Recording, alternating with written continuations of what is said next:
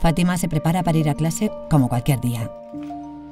Almudena se arregla para dar una vuelta después del trabajo como cualquier día.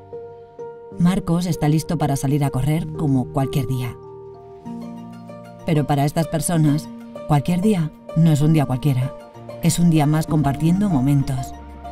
Porque algunas personas jóvenes, como Fátima, las mujeres que se enfrentan a la violencia de género, como Almudena, o quienes lidian con problemas de salud mental, como Marcos, se sienten parte de su comunidad y pueden hacer su vida gracias a los pequeños gestos de las personas que tienen cerca. Porque nuestros pequeños gestos valen mucho ante la soledad no deseada.